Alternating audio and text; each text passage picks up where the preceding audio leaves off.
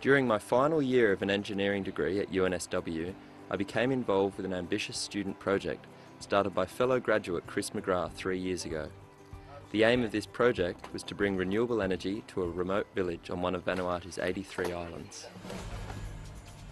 Imaki, on the southeastern coast of Tanna Island, sits in the shadow of an active volcano. A three hour drive over rough terrain from the nearest town, it's completely isolated from modern civilization.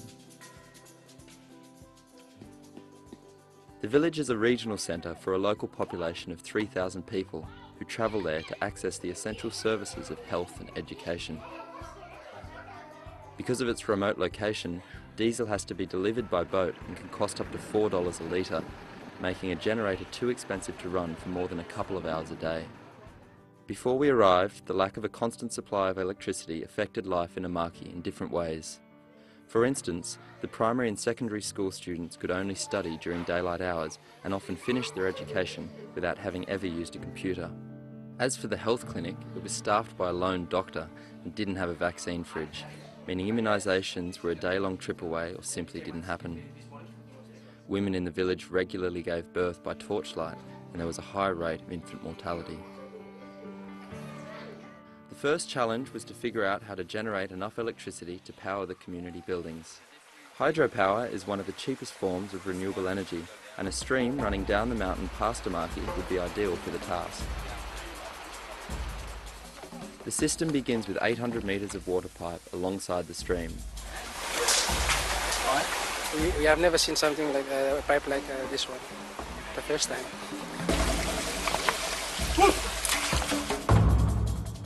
This pipe would generate enough pressure to spin a micro hydro turbine, harvesting the energy in the falling water and turning it into electricity.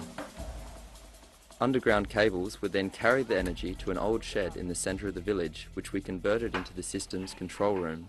Here, batteries would store the energy and smart inverters would regulate the electricity supply. A mini-grid would then distribute the power to the village's various buildings. The cables needed to be buried half a metre deep, and with no machinery to help, there was plenty of work for everyone.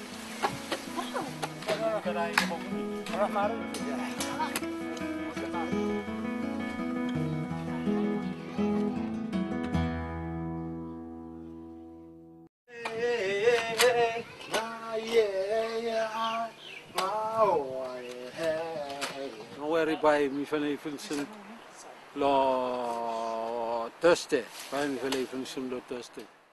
The locals speak a combination of French, Pidgin English and a unique dialect, so we had to use a lot of sign language to explain our plan. It was a crucial part of the project to teach the villagers how to maintain the system once it was up and running.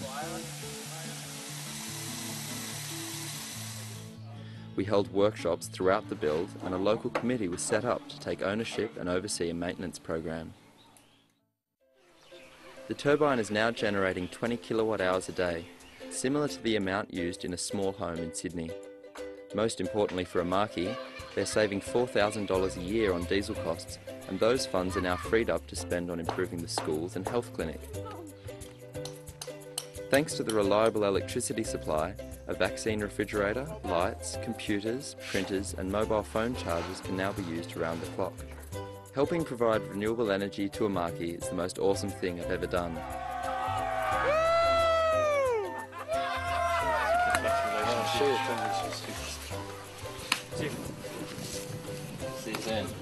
I'm hooked on the place and the people, and Chris and I are already planning another trip back.